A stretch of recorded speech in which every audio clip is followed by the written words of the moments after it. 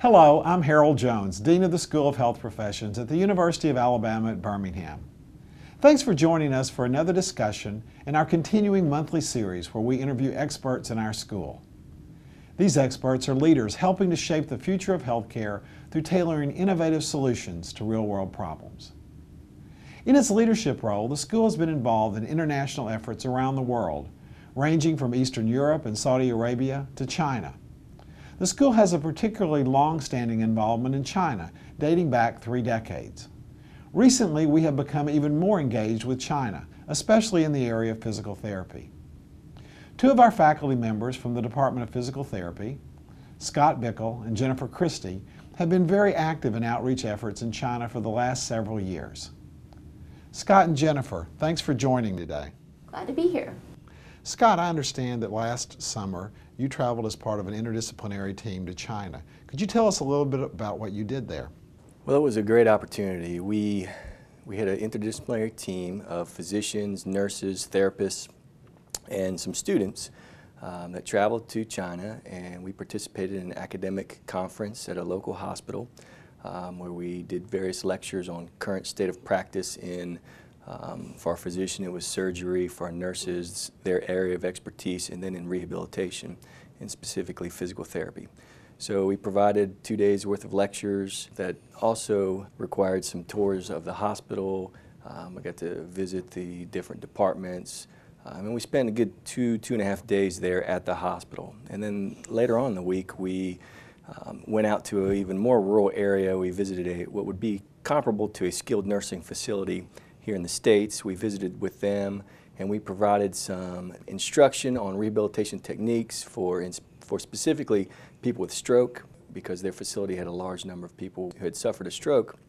And so we trained some community volunteers who wanted to help the, in this facility, so we gave them some basic um, um, things to be working on when they encountered these people with strokes. Tell me what you observed related to the quality of physical therapy and rehabilitation services uh, that you observed while you were uh, there in China during this trip. And where we worked was, it was very interesting. It was, people were encouraged to stay in bed for long periods of time, to rest. Um, uh, the exercise facility within the hospital um, really wasn't utilized very often. Um, when we asked to see it, um, they had to kind of um, ask around to find the key to uh, let us into the into the room.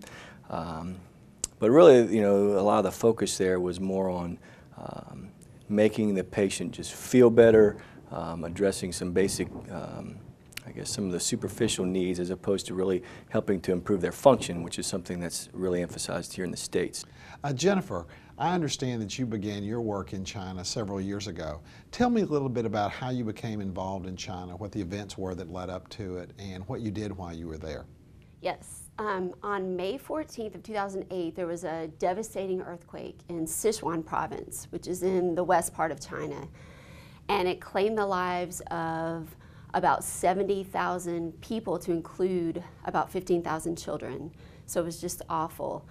Um, it also caused a lot of people to have injuries that people in China were not used to treating, such as amputation, um, crushed bones, just injuries that, that they were not equipped to, to handle, especially in all of the rural areas, because Sichuan province, it does have some large cities like Chengdu, but there are also a lot of rural areas um, that were affected and not a lot of healthcare professionals. So, you know, here at UAB we have Howard Hauser who was involved in Project Hope and they were putting together a team to go over there and just do an assessment of their rehabilitation needs. And so the team included, they wanted a pediatric physical therapist, which is um, my area, and they wanted an emergency physician. We had one from Boston, a neuropsychologist, who was also there, and also a, um, a prosthetist, orthotist, who accompanied our team. So we all met over there in Shanghai, which is where Project Hope's uh, headquarters is located. And we flew to Chengdu, where we met with a lot of different hospital administrators and physicians just to find out what their situation, what they perceived their situation to be as far as rehabilitation needs. And we got to observe some amazing facilities in the larger cities. Um, there, we went to West China's second hospital in Chengdu, which is the largest hospital in the world, and was able to meet with physicians there and just to, to find out some of the things they need. And one thing that we found with all of the meetings, we also met um, with administrators in rural areas, was that there were only about 420 trained rehab professionals in all of Sichuan province. And so that's definitely not enough to, to treat, especially the need after the earthquake. Um, so that was probably the biggest finding that the team had um, in the assessment trip. And, um, you know, we, we did travel to the larger cities. We went to Beijing and met with the Ministry of Health and got their perspective on what was going on. We went to Chengdu to several hospitals there. We went to a children's hospital and the West China um, hospital. We also went to a little town called Dijon Wan City. I'm probably not saying that correctly, but um, and we saw the Red Cross German. Um, the, the, the Germans had set up a tent hospital for the people in the rural areas to go to because there was not a hospital large enough to house all the people who needed assistance. So they literally had tents set up all over, um, and they were even doing surgeries in these tents. So it's just amazing how you know people pull together, but the need is very great there. I know that after the reports, you continued to be involved in this project, and that things have continued to occur at UAB related to that particular effort. Could you tell me a little bit about that? Yes. So one of the things that we perceived was that they needed um, to train more rehab professionals.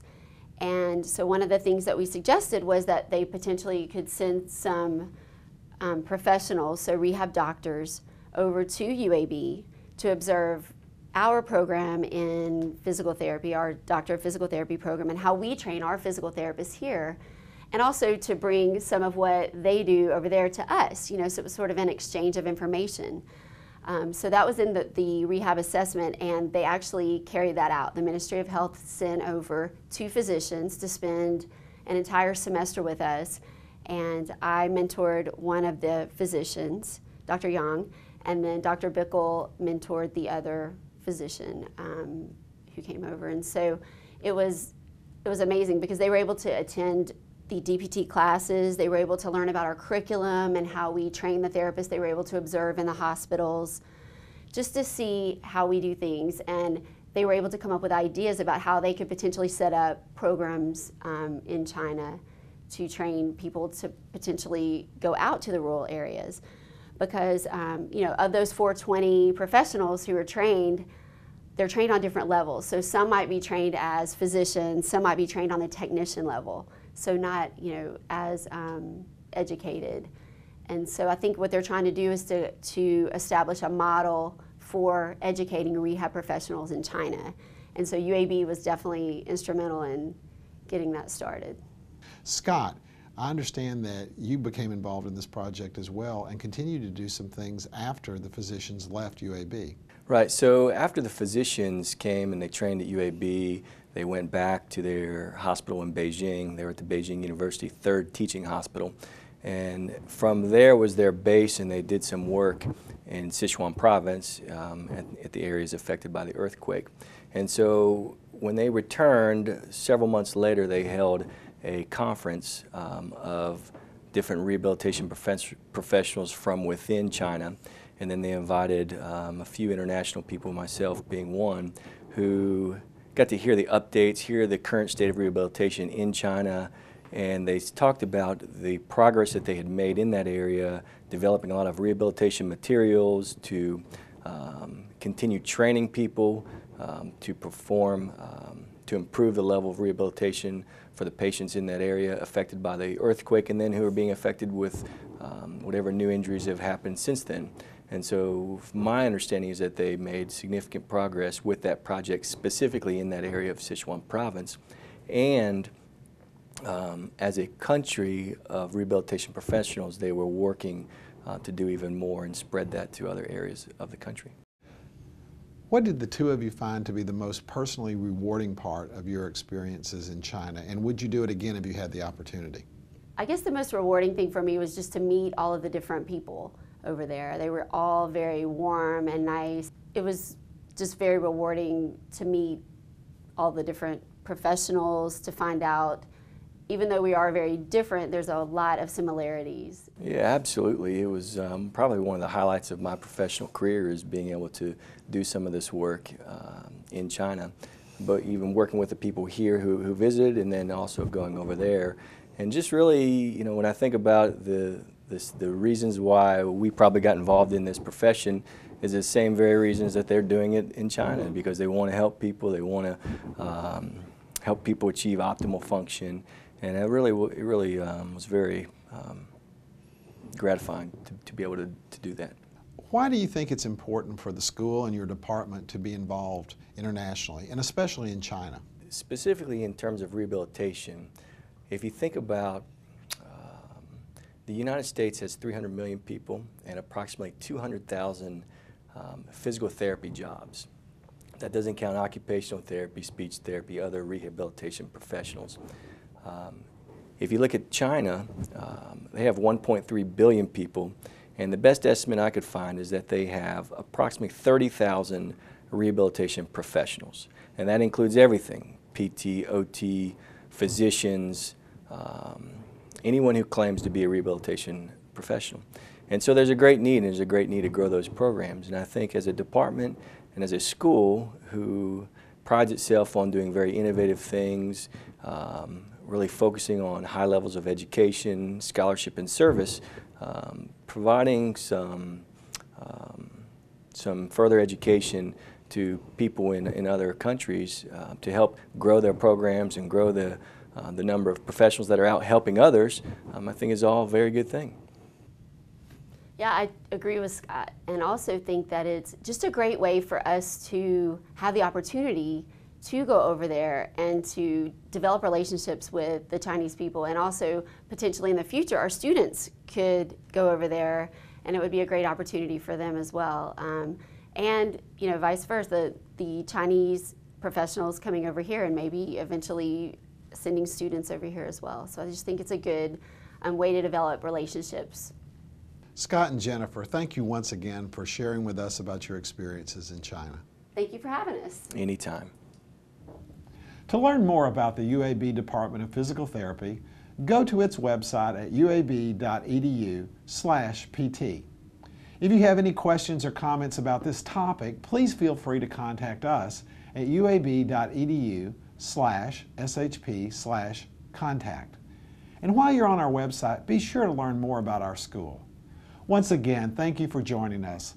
I'm Harold Jones, Dean of the UAB School of Health Professions, shaping the future of healthcare through tailoring innovative solutions to real world problems.